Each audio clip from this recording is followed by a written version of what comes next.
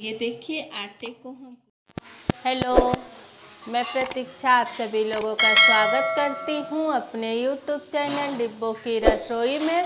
तो आज हम आप सभी लोगों के लिए कुछ नई रेसिपी लेकर आए हैं फ्रेंड्स तो आप सभी लोग मेरे वीडियो के साथ सबसे पहले आप डाल रहे हैं देखिए जीरा और मिर्च का। तो हम जीरा और ये सूखा लाल मिर्च पाउडर को भूनकर इसका पाउडर बना लिए हैं देखिए। तो इसे हम एक चम्मच डाल देंगे। इसे जो है भून कर बनाइए और बहुत अच्छा टेस्ट आता है। और इसमें हम एक हरी मिर्च काट लिए हैं, इसे भी डाल देते हैं। और ये हम लिए हैं हरा धनिया तो हरा धनिया डाल देते हैं। और अब इसमें हम नमक ऐड करेंगे। तो नमक हम अपने स्वाद अनुसार डाल देंगे।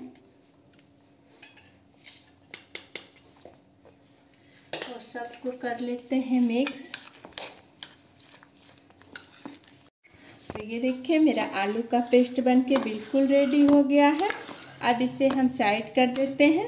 जब तक हम आटा लगा लेते हैं तो देखिए, यहाँ पे हम एक बॉल लिया है और यहाँ हम गेहूँ का आटा लिए हैं। तो एक कप हम गेहूँ का आटा ले लिए हैं। इसे हम इसमें डालेंगे। और इसमें हम ऐड कर रहे हैं फ्रेंड्स, थोड़ा सा अजवाइन। अजवाइन बहुत ही फ़ायदेमंद होता है, आप सभी लोगों को पता है। अजवाइन ठंड में जो है बहुत फ़ायदेमंद होता है और इसका टेस्ट जो है बहुत अच्छा आता है। तो इसलिए हम एक चम्मच अजवाइन डाल रहे हैं। और अब इसमें हम ऐड कर रहे हैं, थोड़ा सा मोइन डाल रहे हैं। तो मोइन हम एक चम्मच और दो चम्मच डालेंगे, ज़्यादा नहीं डालेंगे।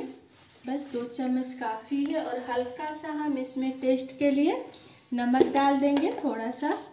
तो क्योंकि हम पेस्ट में भी नमक डाले हुए हैं तो इसमें हम बहुत थोड़ा सा नमक डाल रहे हैं। इससे जो है हमारे पराठे का जो है आलू का बहुत ही अच्छा टेस्ट आएगा। और अब इसे हम कर लेते हैं मिक्स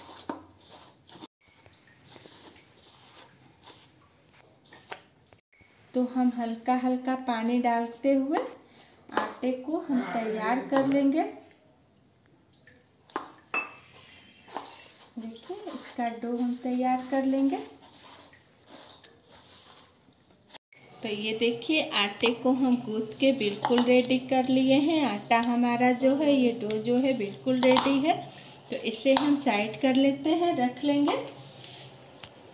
गैस ऑन करके यहाँ पे हम तवा चढ़ा दिए हैं। आप पराठा सेकना स्टार्ट करते हैं। तो इस तरीके से अगर आप सभी लोग पराठा बनाइएगा, बहुत ही अच्छा बनेगा, बिल्कुल फटेगा नहीं और बहुत अच्छा बन के तैयार होता है। तो ये हम आटे को ले लिए हैं और आटे को जो है हम लोइया काट लेंगे ऐसे।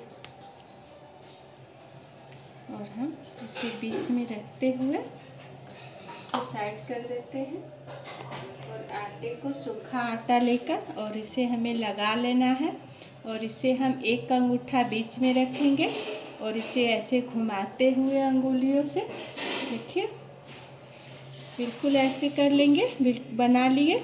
अब इसमें हमें आलू का जो ये हम पेस्ट बना के रखे हैं, इसे हम भर लेते हैं। देखिए।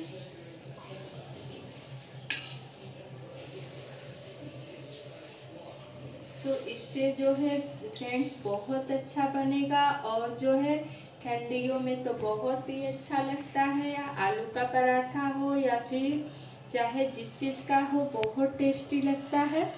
तो आज हम आलू का पराठा बना रहे हैं। इसे मोड़ लेंगे और इसे हम हल्का हल्का हाथों से, ऐसे हाथों से घुमाते हुए हल्के हल्के हाथों से बस सूखा लगा कर आटा और इसे हम हल्के बेलन से जो है कर लेते हैं। ये पराठा बहुत आसान होता है, बहुत लोगों से जो है फट जाता है तो ये बिल्कुल भी नहीं फटेगा। आप लोग बना कर देखिएगा, बहुत अच्छा बन के रेडी होगा ये आलू का पराठा। तो तवा हमारा गर्म हो गया है, हम इस पे डाल देते हैं। तब तक हम दूसरा भी तैयार कर लेंगे। तो देखिए, उसे हम पलट दिए हैं साइड से। अब हम इसमें घी लगा लेंगे। घी या तेल जो भी आप लगा सकते तो अब इसमें हम घी लगा देंगे।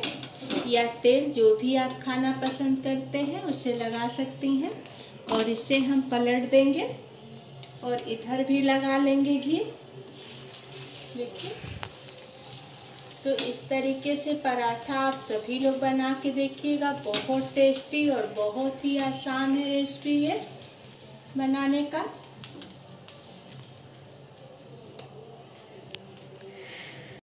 तो इसे हम पलट देंगे। ये देखिए, पराठा बिल्कुल रेडी है।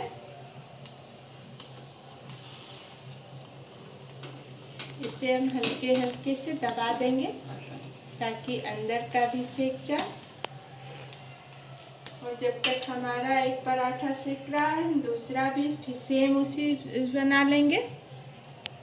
ठीक?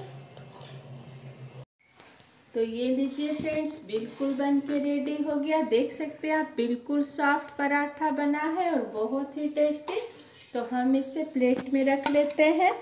और दूसरा भी सेम इसी तरह बना लेते हैं। सेक लेंगे पराठा। तो लीजिए फ्रेंड्स देखिए, दूसरा भी बन के रेडी है, बिल्कुल सेम उसी स्टाइल में। तो ये बहुत ही आसान होता है ये रेसिपी आप लोग भी बनाइएगा और हाँ आप लोगों से मेरा एक रिक्वेस्ट है।